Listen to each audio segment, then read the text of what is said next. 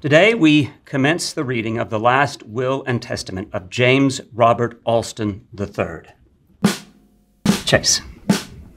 In time, you'll understand.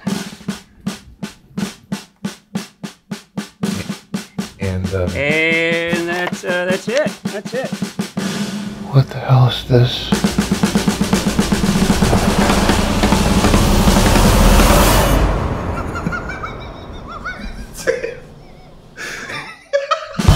You fix it, you gotta use it. You don't, you're gonna lose it. Why ain't it done yet? Got some T's to dot and I's to cross. Got that backwards. Whatever.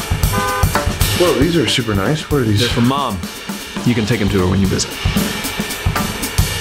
I, I, I, I can fix it. No, you can't, Chase. What the hell's going on? The unit that dad gave me, I went there today. It fixes things. You take, you take something there that's broken, you put it inside, and you close it, and it's fixed. It gets fixed.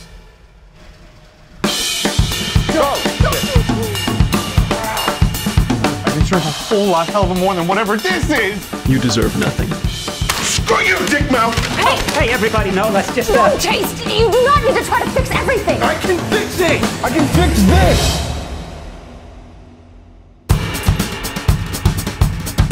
Uh, I'm here to see my mom, Linda Alston. I'm sorry. What's what's your mom's name? Yeah, uh, Linda, Linda Alston. Yeah.